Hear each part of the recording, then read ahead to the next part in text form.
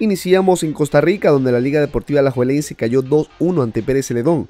Freddy Góndola ingresó al inicio del segundo tiempo y anotó el gol del descuento al minuto 81.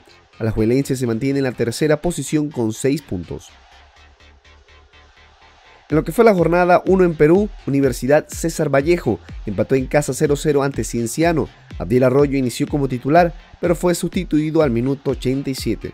Por su parte, el Universitario de Deportes ganó por goleada 0-3 en su visita ante la Academia Cantolao. Alberto Negrito Quintero ingresó al minuto 62. Pasamos ahora a El Salvador, donde el Municipal Limeño perdió en su visita ante Jocoró 3 por 0. Nicolás Muñoz fue titular, disputó todo el encuentro, además de portar la cinta de capitán. Municipal Limeño baja la posición 11 con 3 puntos. El que sí logró conseguir la victoria en El Salvador fue el FAS, que logró sacar 3 puntos importantes luego de vencer 2-0 al Santa Tecla. Roberto Chen jugó todo el partido y el FAS sube a la novena posición con 5 unidades. En Guatemala, Comunicaciones logró ganar en casa 2-1 ante Achuapa.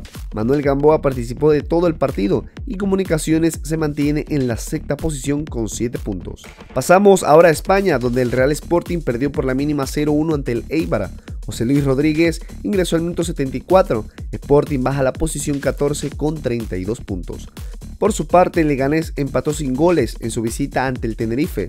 Bárcenas ingresó al minuto 77 y el Leganés sube a la posición 16 con 30 puntos.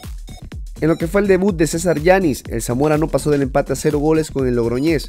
El canalero inició desde el banquillo, pero ingresó al minuto 61 y su equipo se mantiene en la posición 16 con 21 unidades. En Colombia, Patriotas de Boyacá cayó 0-1 ante la Equidad. Ángel Orelín inició como titular, pero fue sustituido al descanso. Boyacá baja la posición 18 con 3 puntos. En Bélgica, el Anderlecht ganó por goleada ante el CAS Eupen por marcador de 4-1. Michael Amir Murillo disputó los 90 minutos y el Anderlecht se mantiene en la cuarta posición con 45 puntos.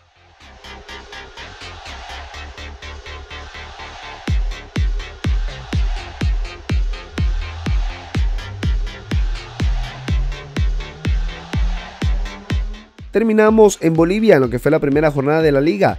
El Royal Party perdió 0-2 ante el Jorge Wilstermann.